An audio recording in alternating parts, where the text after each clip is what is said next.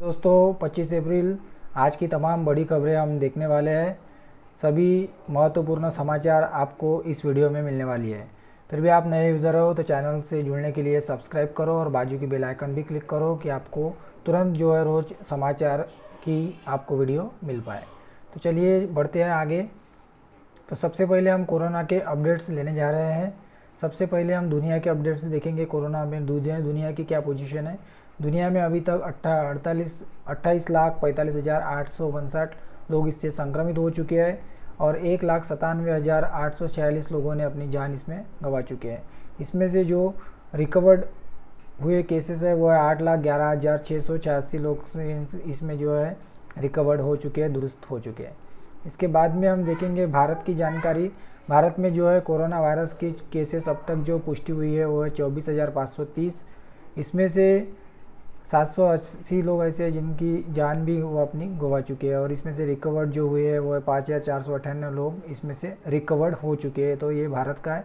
Worldometer के side से ये अपडेट्स आपको दिए जा रहे हैं। इसके बाद में हम सभी अभी ब्रेकिंग न्यूज़ देखेंगे वन बाय वन सरकार ने लॉकडाउन में दी बड़ी राहत। जानते हैं किस किस दुकानों को बाज़ार में जो है अभी छूट मिलने वाली है।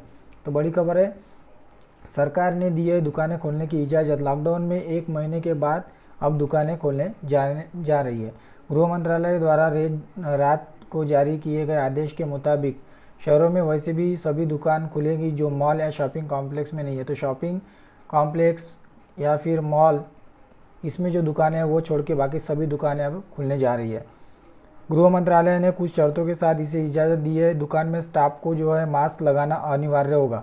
तो मास्क लगाना अनिवार्य होगा। अब ज़रूरी चीज़ें जो है उसके साथ ही घर ज़रूरी जो चीज़ें है उसकी भी दुकानें खोलने की इजाज़त सरकार ने दे दी है। इसके बाद की हम न्यूज़ देखते हैं। तो केंद्र के बाद अब योगी सरकार का कर्मचारियों को झटका डीए पर लगाई रोक। आप सभी को पता है, देश में जो है आर्थिक हालात अभी कुछ ठीक नहीं है। उसके ही यूपी सरकार ने कर्मचारियों को और पेंशन भोगियों के लिए जो है एक जनवरी 2020 से जून 2021 तक महँगाई जो भत्ता रहता है उस पर रोक लगा दी है। दोस्तों, इसके बाद में हम पढ़ते आगे। सलून शराब बेचने वाली दुकानें खुली रहेगी या बंद रहेगी? तो क्या है इसके जुड़ी खबर? गृह मंत्रालय ने शुक्रवार देर रात लॉकडाउन टू में रियायत देने का आदेश जारी किया है। इस आदेश में सभी दुकानों को खोलने की इजाज़त दे दी है, लेकिन मॉल्स और शॉपिंग कॉम्प्लेक्स को अभी इंतज़ार करना पड़ेगा। सलून शराब की दुकानें को भी खुलने की अनुमति अभी तक नहीं है। सामान की जो भी दुकान है उसे अनुमति दी है। सेवा की जो दुकान है उसे अभी तक अनुमति नहीं मिली है। अगली खबर की तरफ़ रुख करते हैं। अमेरिका में ऐसे लोगों की मौत हो रही है जिन्हें कोई कोरोना का लक्षण नहीं है। तीस से उनपचास साल के लोगों की अचानक हो रही है मौत। क्या है न्यूज़? हम देखते हैं। अमेरिका के डॉक्टर्स ने चेतावनी दी है कि कोरोना वायरस की वजह से 30 से उनपचास साल के जो लोग हैं, उनकी अचानक ही मौत हो रही है। इनमें कई लोग ऐसे हैं जो बिल्कुल भी बीमार नहीं दिखते, उनको कोई लक्षण भी नहीं दिखता, लेकिन अचानक उन्हें स्ट्रोक्स आने की वजह से उनकी मौत हो रही है। न्यूयॉर्क में कई लोग आए, उनके घरों में उनकी मौत हो चुकी है। इसके बाद में अगली खबर की तरफ़ रुख करते हैं। कोटा के छात्रों के अलावा बाहर फंसे बिहार के 17 लाख लोगों पर भी सरकार का ध्यान है। बिहार सरकार का क्या है न्यूज़ देखते हैं। बिहार के मंत्री संजय झा ने कहा कि लॉकडाउन खत्म होने का इंतज़ार है। उसके बाद सरकार पहली प्राथमिकता में कोटा में जो फंसे बच्चे हैं, उसे घर पे लाने का काम करेगी। यूपी, उत्तराखंड, मध्य प्रदेश जैसे राज्यों ने अपने अपने छात्रों को वापस बुला लिया है। बाहर के राज्यों में बिहार के सत्रह लाख लोग हैं और सरकार का ध्यान इन सभी पर है। तो काफ़ी मजदूर जो है, बाहर राज्यों में फंसे हुए हैं। इसके बाद की खबर की तरफ़ रुख करते हैं। बाहर फंसे मजदूरों के खाते में पैसे डालने का क्या है प्लान? बिहार सरकार पैसे डालने वाली है। सभी मजदूरों के खाते में जो बाहर फंसे हैं तो क्या है? इस न्यूज़ की सच्चाई देखते हैं। तो संजय झा ने कहा है कि बिहार सरकार सिर्फ़ बिहार में ही नहीं, बल्कि बिहार से बाहर जो फंसे मजदूर की भलाई में भी दिन रात लगा रही है। उनके खाते में भी पैसे ट्रांसफ़र किए जा रहे हैं। बिहार सरकार ने अब तक छः हज़ार करोड़ रुपए दिए हैं। उन्होंने कहा कि 20 लाख से ज़्यादा मजदूरों के खातों में पैसे जाएगा। जो मजदूर प्रदेश से बाहर है, उनके भी खातों में यह पैसा डाला जाएगा।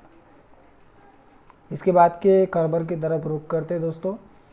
तो संजय कोठारी बने नए सीवीसी राष्ट्रपति रामनाथ कोविंद ने इन्हें दिलाई है शपथ। तो ऐसे ही फटाफट खबरें आपको रोज़ मिलते रहेंगी। ज़्यादा से ज़्यादा वीडियो को लाइक और शेयर करना ना भूलिए। तो क्या है इस खबर में?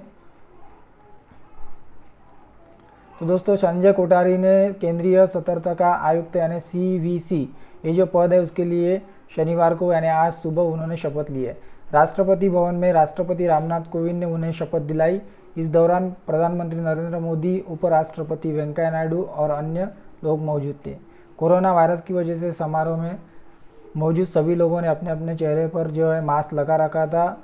इस दौरान सोशल डिस्टेंसिंग का भी पालन किया गया था। तो ये सभी तमाम खबरें हमने जानी है तो वीडियो को एक लाइक तो बनता है और शेयर भी कीजिए। धन्यवाद। जय हिंद। जय भारत।